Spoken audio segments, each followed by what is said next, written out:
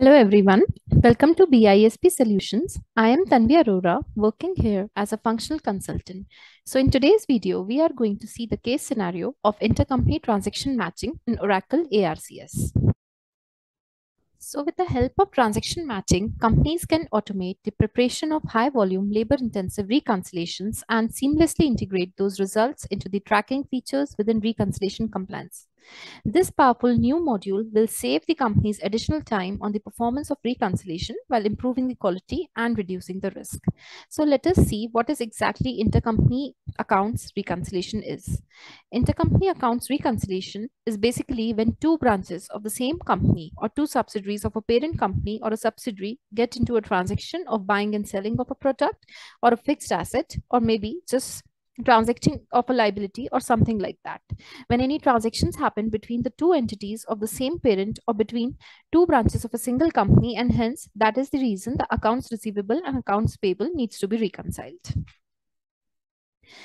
So one entity would be providing the product and the other entity would be paying for it. And so today we will be reconciling intercompany accounts of two entities, that is two branches of the same entity. And the reconciliation account ID that will be uh, that I will be using is 303INCO.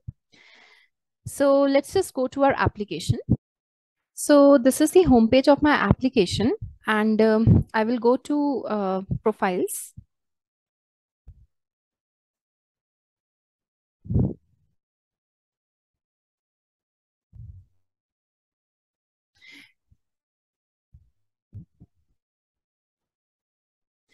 So I have already created a profile for uh, intercompany transactions. So the profile ID is 303INCO, uh, name is intercompany 96 and uh, entity, the other name of the entity is 87. Then uh, this is the reconciliation of entity 96 payable to uh, entity 87 receivables. So one is AP and one is AR. The process is balance sheet, risk rating is medium, account type is intercompany receivable, and then the organization unit is North America. Format, uh, I have chosen uh, TM Intercompany 1. So like uh, I will show you my format also, but uh, let's just first complete the overview of this profile. Then in the workflow tab, I have uh, selected the name of the uh, preparer, then my reviewer, and I have provided for the offset days, then the durations. Currency, I have chosen as a functional USD and the rate type is accounting. So I have already created this profile and the format that I have used is TM Intercompany 1.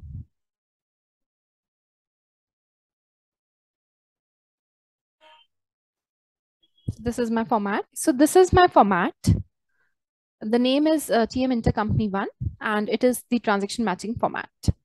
So uh, the only different element in this format is this match type that I have selected. I have prepared this match type already. So uh, it is only the different element in my transaction matching module apart from my reconciliation compliance module. So basically ARCS comes with dual module feature where I can also just match and reconcile the balance part. And also I can reconcile each and every transaction along with my balance so that I'll get a dual check on accuracy of matching the transactions as uh, invoice ID, date and everything. And also the balance shall be matched. So here the match type that I have select used is intercompany. Match type, if you say it is the additional element in transaction matching module. If I put it like that, uh, like you create a profile on the base of a format, but in transaction matching, there is one more element added to my profile creation and reconciliation. Like uh, in transaction matching, I create a profile on the basis of a format and a format is created on the basis of match type. So from here, I will be able to see what is the match type uh, that I have used. Uh, this is the intercompany match type. Okay. And uh, the other things are uh, same like uh, the, it was in the first module. So here I'm using the first method that is balance comparison with the transaction matching because I'm going to compare the two data sources of the uh, two in, uh, intercompanies basically. So this is my format. I have already created this. And now I will go to match type and uh, we'll uh, go through an overview of the match type.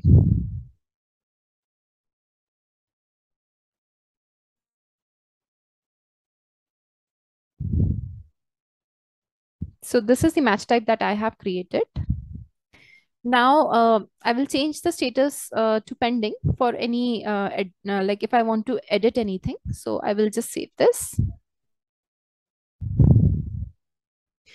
Now this match type has got five tabs. I will just go an overview, uh, go through an overview of all these tabs. So this is the basic properties tab as in the name, ID, description and everything.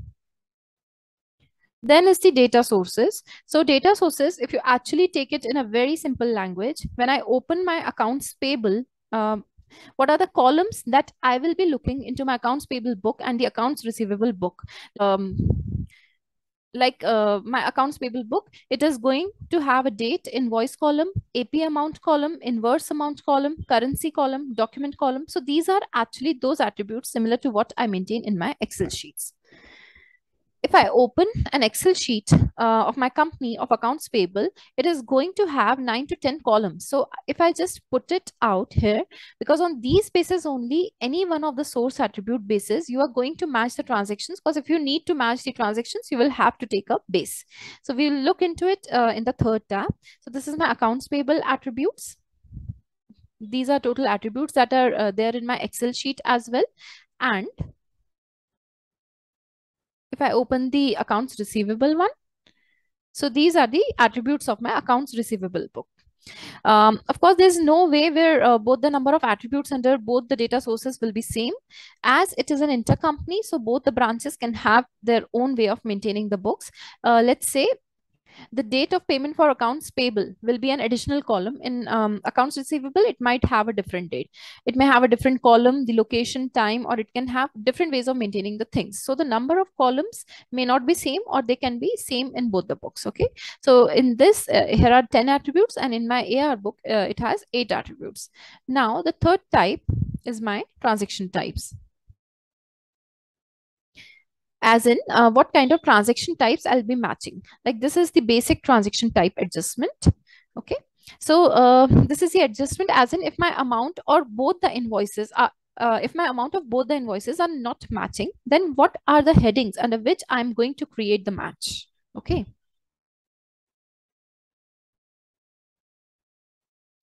Uh, let's say accounts payable book has $100 and accounts receivable book shows uh, $105. So if I have, uh, I can have a discrepancy or difference of maybe coding error or maybe an invoice difference, maybe a currency exchange uh, difference, which is called currency flux. So if I'm just putting a main heading uh, under which uh, I am going to put my adjustments. Okay.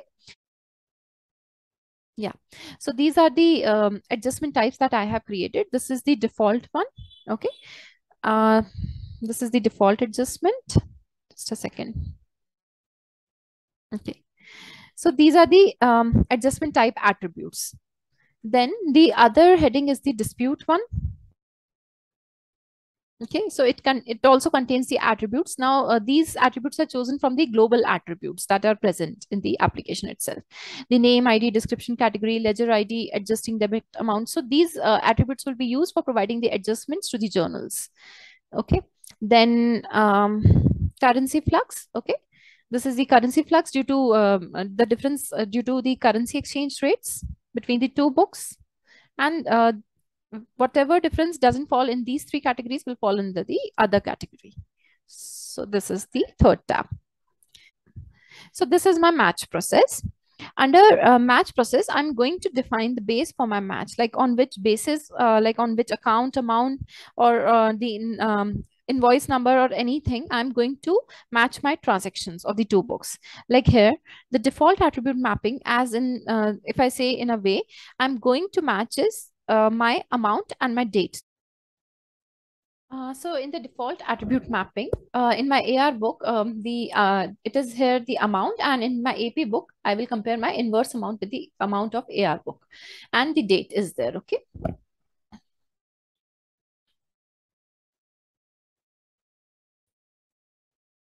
And I can add other attributes to this as well. So it totally depends on the company or the organization. So this is the fifth tab and it is the journal entry attribute.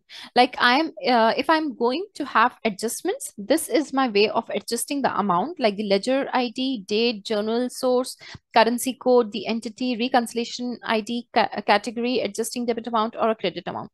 So it is just for the adjustments. You can have attributes depending on your organization. So this was my match type.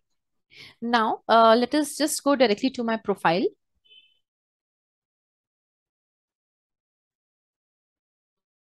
So I have already created that profile.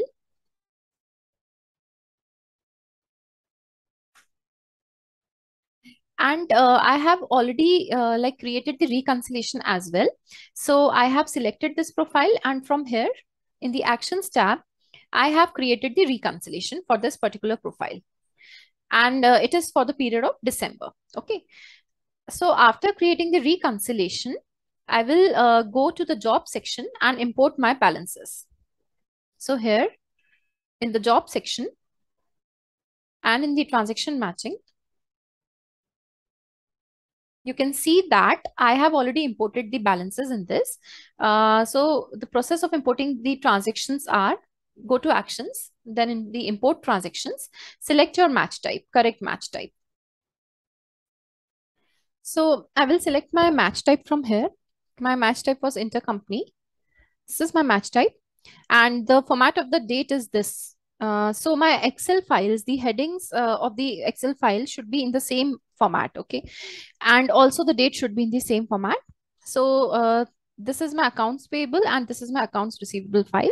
So I will uh, just upload my balances into this. So this is for AP.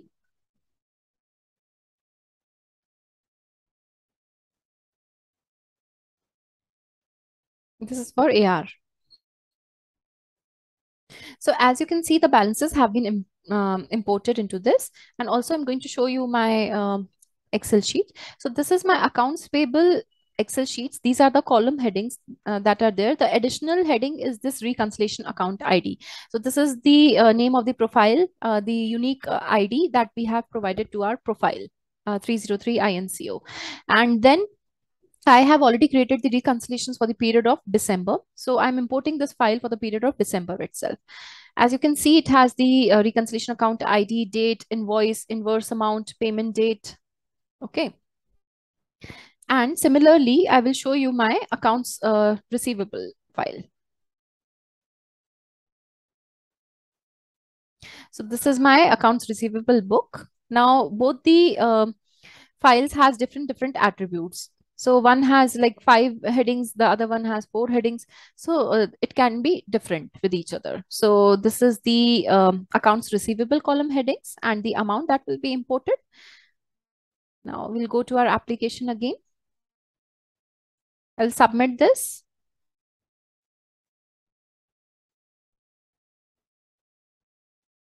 So as you can see, the status is pending. I will keep refreshing uh, until it gets exceeded. So now the uh, balances have been, files have been imported. Now the next step is to go to the matching card. So um, this is my profile. As you can see that this is for the period of December and uh, then it's showing me uh, the suggested matches here. Basically, these are the suggested matches. And uh, the difference uh, like these are with the adjustments. So uh, one was with the uh, currency flux and the other was was for uh, because of the disputes. So it's showing me in the suggested matches. Uh, total are two and these are with the adjustments. So as you can see that uh, according to the rule that I have put into my uh, match type, uh, this was the rule that one-to-one -one with tolerance and amount. So like it has uh, provided me in the suggested matches. So um, I can see that this is my invoice number. It is same.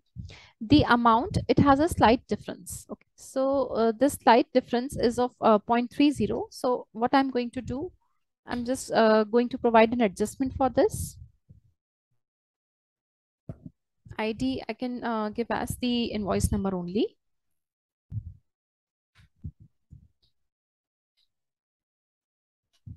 Name is not compulsory. And then I will confirm this.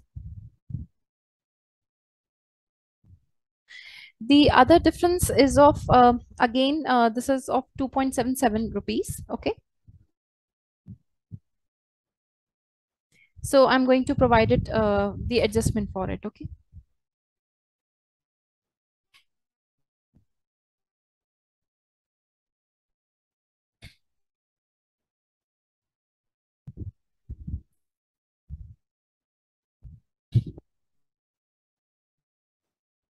Now I am left with uh, no suggested matches. I have confirmed all the matches.